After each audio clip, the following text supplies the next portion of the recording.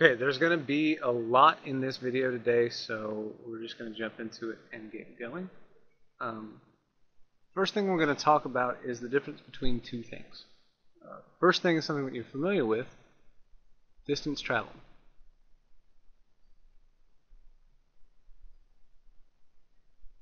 Oh, I spelled that wrong. Doesn't matter. The next thing is something you may not be familiar with, so we're introducing a new term. That term is displacement.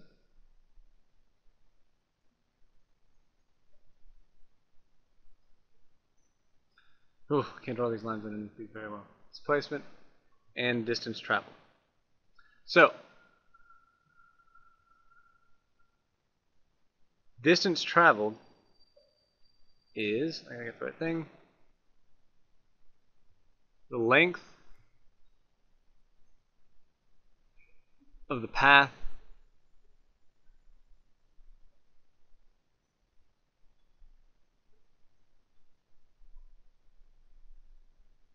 that you follow. When we're talking about distance traveled, it's how far you go. When we're talking about displacement, it's the straight line distance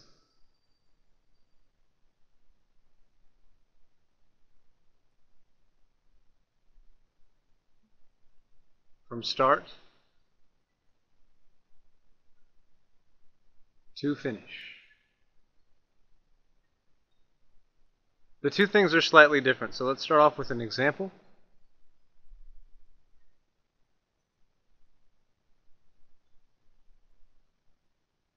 You're going to start off there. We're going to call that your house.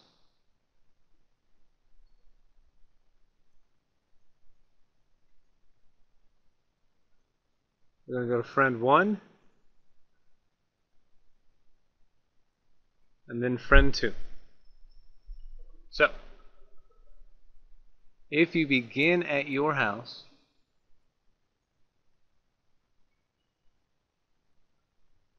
the distance between your house and friend 1, let's just say, is 2 miles. In between friend 1 and friend 2 is 3 miles. You're going to start off at your house.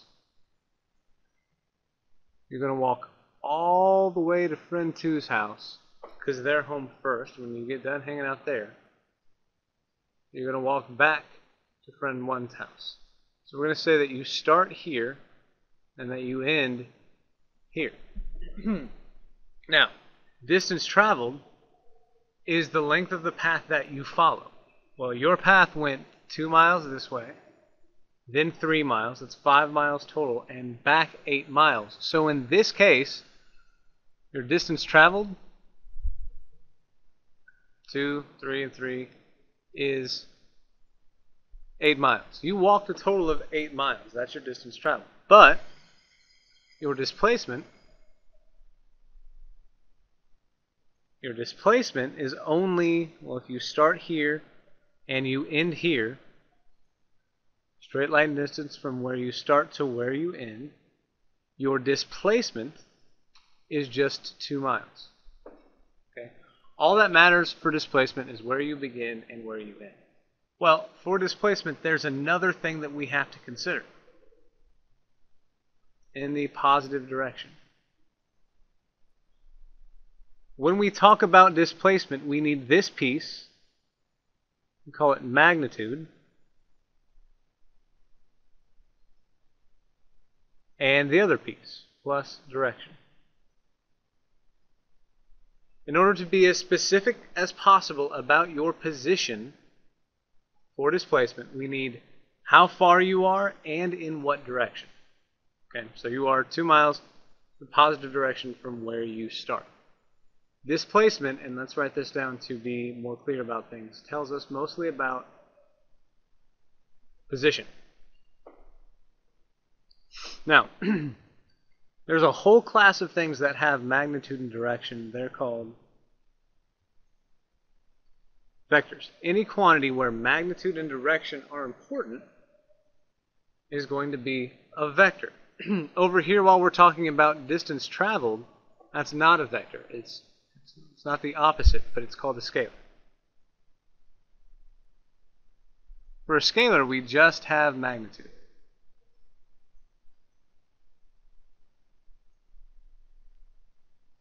It's going to become very important that we keep these two things apart. So we're going to look at a quick, another quick example. Oh, let's use choose this gray blue. Let's say we have a track.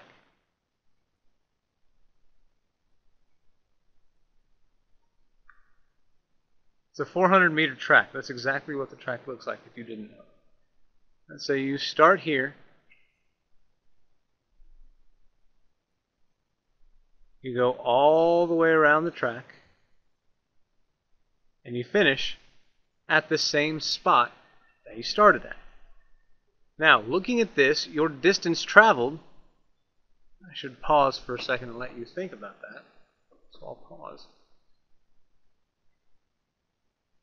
You ready? Yeah? Your distance traveled is 400 meters. The path that you actually took all the way around was 400 meters. But your displacement, I want you think about that for another second. Your displacement was zero meters. You didn't go anywhere. Looking at where you start and where you end, just those two x's, your displacement is zero. It's almost like you didn't go anywhere. This is our quick introduction to information about position and information about uh, distance travel. The next thing that we talk about this is speed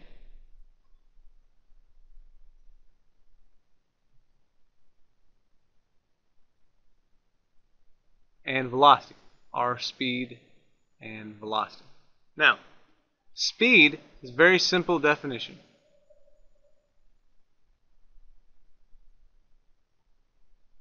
It's our distance traveled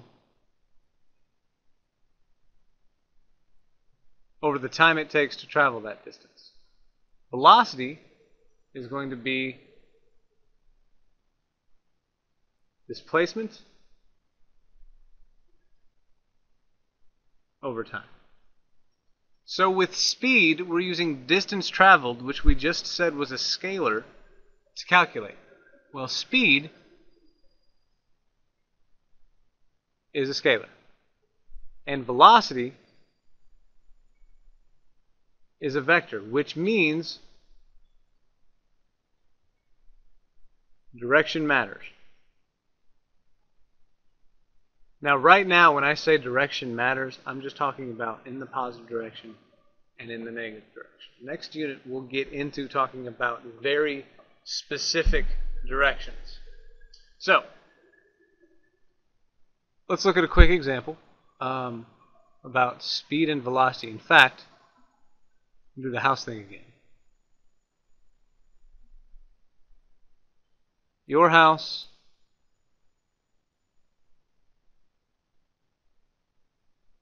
Two miles away friend one's house. Three miles beyond that, three miles, is friend two's house. So let's say the first leg of your trip, just like before, you go to friend two's house, and that takes you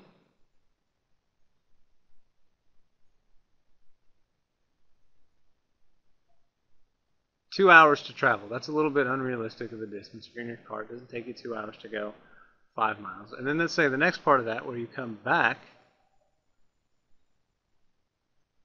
only takes one hour. Now, to calculate the speed, speed is going to be equal to the distance traveled over our time.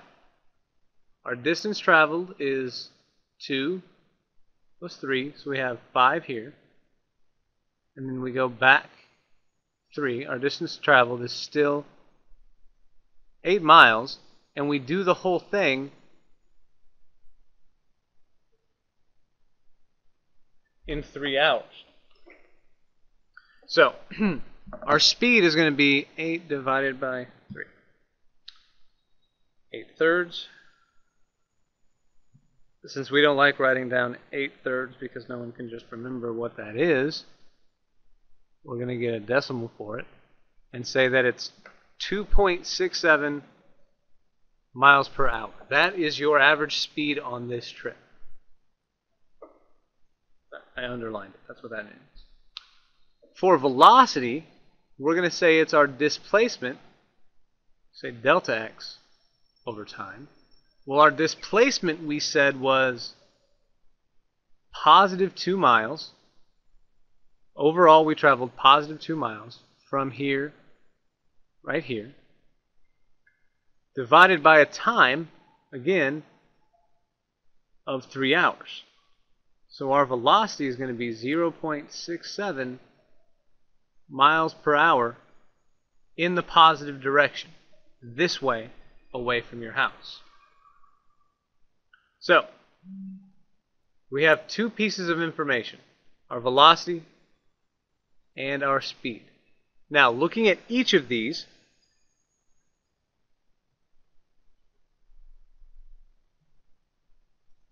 Can you say anything about your direction traveling at an average of 2.67 miles per hour? I don't think you can. You change direction over here, so it makes it a little bit difficult to say that you were definitively moving one way. However, when we're talking about velocity, since direction is implied in that measurement, you can say that you are definitely to the right of your house a distance of 2 miles. And that your average velocity the whole time was 0.67 miles per hour to the right. That's what that plus sign is going to mean. To the right. I'm going to give you a couple examples of speed and velocity, uh, but mostly it's important in noting that you can't really have a negative speed.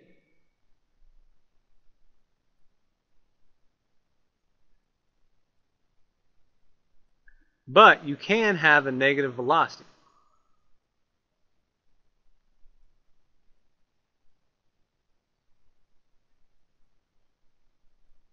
all negative velocity means is that you're moving backwards.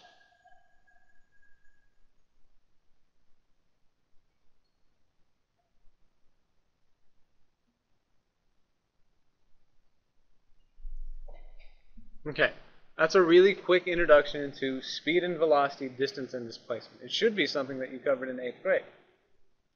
The next thing that we're going to talk about are motion graphs.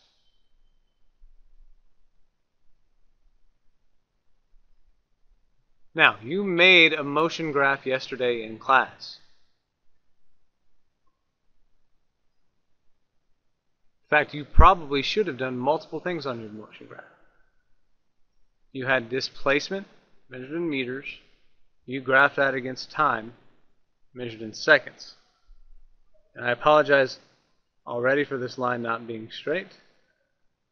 But let's say your graph looks something like this. This was the first person that walked. and this is the second person that walked. Now, as you graph this, the slope of your line is going to be the rise, because that's how we do slope, rise over run. Or, for us, since our rise means something, it's our, it's our change in position over our change in time. Guess what? That's just velocity. So the slope of this line corresponds to velocity. The slope of position, let's write that down. That's an important thing.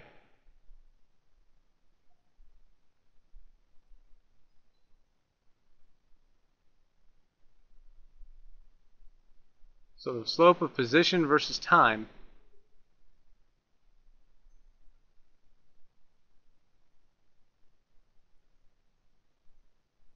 is velocity.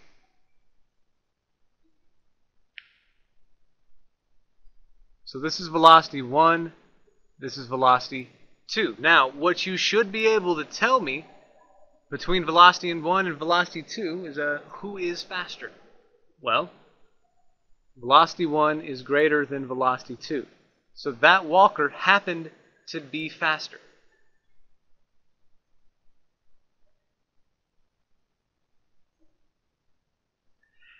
We look at that point right there, it's our y-intercept. What that really is, is initial position.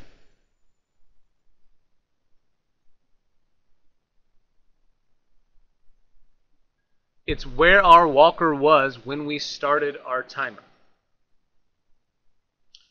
That's a very simple thing about a delta x versus t graph. Now, what you get when you look at this, the equation of your line, and I'm going to do it in a very obnoxious color. The equation of our line is position as a function of time is equal to initial position. My pen's not behaving right now. x0 plus the slope, velocity, times time. Now that should be familiar to you. It should look a lot like y equals mx plus b. These are my y values. These are my x values. And the slope is b. My initial position, no, sorry. My slope is m, and my initial position is b. If you plug all those things in, this is the equation that you get. So, let's take let's take the blue one and do a different kind of graph with it. This graph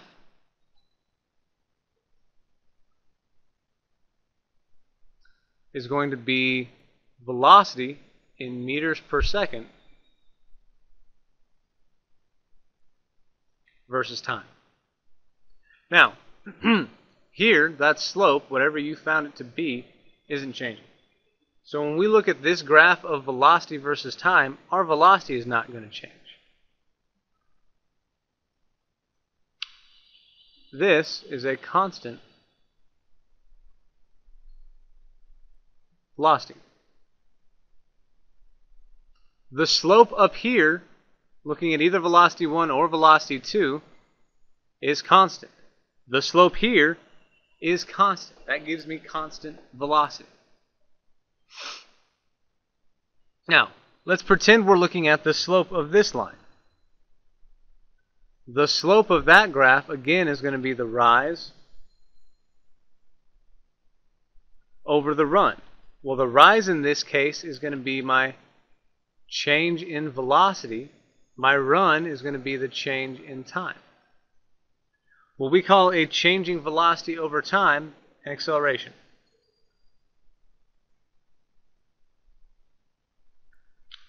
This is our definition for acceleration, and the slope of this line tells me about acceleration. We're going to look at a couple of more things about this particular uh, v versus t graph tomorrow in class, but I just want to give you a good introduction to that before we move on. That's it for this video.